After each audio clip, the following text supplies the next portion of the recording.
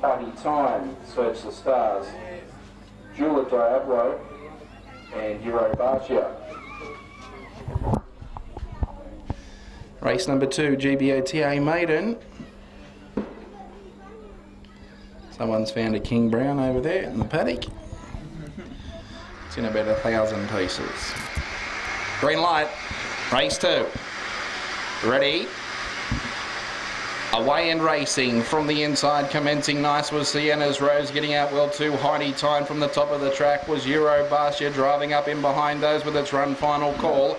Up along the inside was slight mishap, a break back on the outside to Typhoon Clive, and last of all, not going kindly was Jewel Diablo.